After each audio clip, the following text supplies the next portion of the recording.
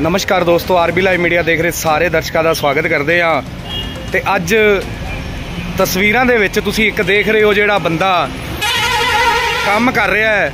ਉਹ ਉਹਨਾਂ ਜਵਾਨਾਂ ਦੇ ਉੱਤੇ ਲਾਂਤਾ ਪਾ ਰਿਹਾ ਜਿਹੜੇ ਬਿਲਕੁਲ ਸਹੀ ਸਲਾਮਤ ਹੋਣ ਦੇ ਬਾਵਜੂਦ ਵੀ ਜਿਹੜੇ ਭੀਖ ਮੰਗਦੇ ਆ ਤੇ ਇਹ ਜਿਹੜਾ 100% ਹੈਂਡੀਕੈਪਟ ਹੋਣ ਦੇ ਬਾਵਜੂਦ ਵੀ ਮਿਹਨਤ ਕਰਦਾ ਹੈ।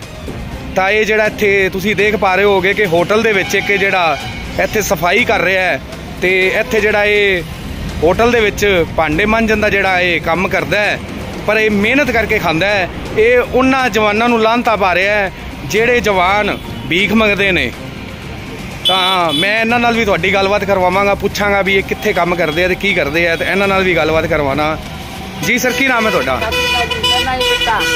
ਕਿੱਥੇ ਰਹਿੰਦੇ ਹੋ ਜੀ?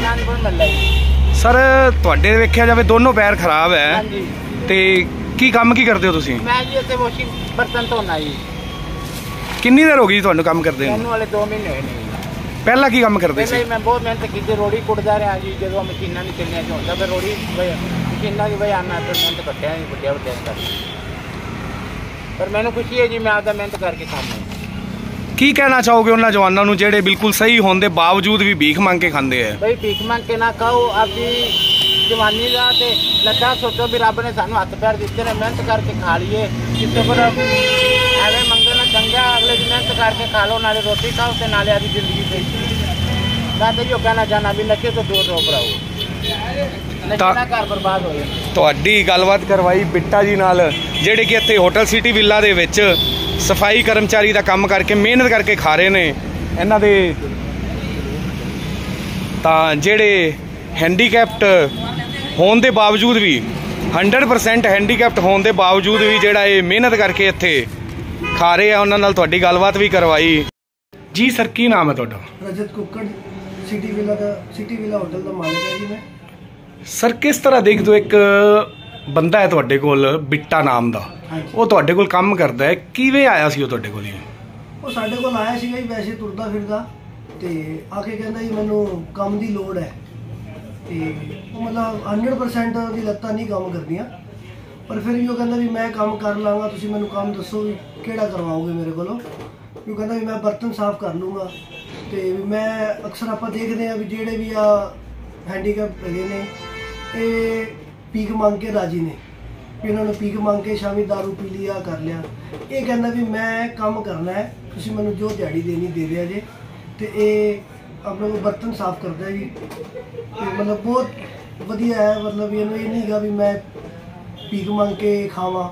ਇਹਨਾਂ ਵੀ ਮੈਂ ਆਦੀ ਮਿਹਨਤ ਕਰਾਂ, ਰੱਬ ਨੇ ਚਲੋ ਜਿਵੇਂ ਕੀਤਾ ਉਹਦੇ ਨਾਲ, ਪਰ ਫਿਰ ਵੀ ਉਹਨੂੰ ਇਹ ਵੀ ਮੈਂ ਮਿਹਨਤ ਕਰਨੀ ਹੈ। ਬਹੁਤ ਮਿਹਨਤ ਨਾਲ ਕੰਮ ਕਰਦਾ ਹੈ। ਕਿ ਜਿਵੇਂ ਆਪਾਂ ਦੇਖਦੇ ਆਏ ਕੱਲ 17 18 ਸਾਲ ਦੇ ਕਈ ਮੁੰਡੇ ਨੇ ਕੋਈ ਨਸ਼ੇ 'ਚ ਜਾਂ ਕੋਈ ਭੀਖ ਮੰਗ ਰਿਹਾ ਹੈ, ਕੋਈ ਕਿਵੇਂ ਹੈ, ਪਰ ਇਹਨੂੰ ਇਹ ਹੈ ਵੀ ਮੈਂ ਭੀਖ ਨਹੀਂ ਮੰਗਣੀ, ਮੈਂ ਕੰਮ ਕਰਨਾ ਹੈ। ਮੈਂ ਕੰਮ ਕਰਕੇ ਹੀ ਖਾਣਾ ਦੀ ਮਿਹਨਤ ਦੀ ਖਾਣੀ ਹੈ।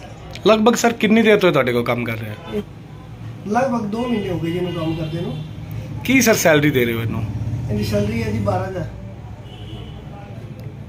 ਕੀ ਕਹਿਣਾ ਚਾਹੋਗੇ ਸਰ ਸਾਡੇ ਚੈਨਲ ਦੇ ਮਾਧਿਅਮ ਫਾਜ਼ਿਲਕਾ ਵਾਸੀਆਂ ਨੂੰ ਜਿਹੜੇ ਚੰਗੇ ਭਲੇ ਹੋਣ ਦੇ ਬਾਵਜੂਦ ਵੀ ਜਿਹੜੇ ਭੀਖ ਮੰਗ ਰਹੇ ਆ? ਉਹ ਵੀਡੀਓ ਨੂੰ ਦੇਖਣ ਤੇ ਸ਼ਰਮ ਕਰਨ ਵੀ ਇਹ ਇਹਦੀ ਦੋਵੇਂ ਲੱਤਾਂ ਨਾ ਚੱਲਣ ਦੇ ਬਾਵਜੂਦ ਵੀ ਇਹ ਰੇੜ ਕੇ ਕੰਮ ਕਰਦਾ ਬੁਖਰ ਵੀ ਮਾਰ ਲੈਂਦਾ ਸਾਰਾ ਕੁਝ ਕਰ ਲੈਂਦਾ। ਅਸੀਂ ਤੂੰ ਆਹ ਕੰਮ ਨਾ ਕਰ। ਬੈਠ ਕੇ ਕੰਮ ਕਰਨਾ ਪਰ ਜਿੰਨਾ ਇਹ ਕੰਮ ਕਰਦਾ ਹੈ, ਜਿਹੜੇ ਸਹੀ ਬੰਦੇ ਆਉਂਦੇ ਨੇ ਸਾਡੇ ਕੋਲ, ਉਹ ਉਹਨਾਂ ਕੰਮ ਨਹੀਂ ਕਰ ਸਕਦੇ ਜਿੰਨਾ ਇਹ ਕੰਮ ਕਰਦਾ ਹੈ।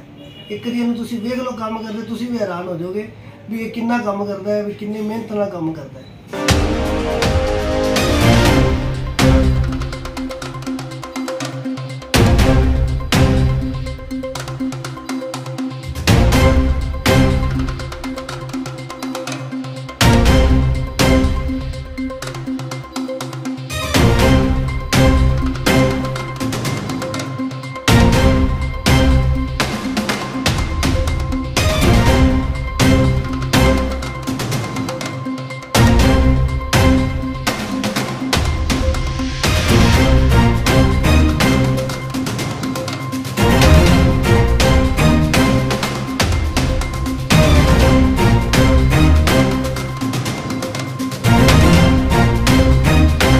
ਤਾਂ ਤੁਸੀਂ ਦੇਖ ਸਕਦੇ ਹੋ ਕਿ ਕਿਸ ਤਰ੍ਹਾਂ 100% ਹੈਂਡੀਕੈਪਟ ਹੋਣ ਦੇ ਬਾਵਜੂਦ ਵੀ ਜਿਹੜਾ ਇੱਥੇ ਬਰਤਨ ਸਾਫ਼ ਕਰਨ ਦਾ ਕੰਮ ਕਰ ਰਿਹਾ ਹੈ।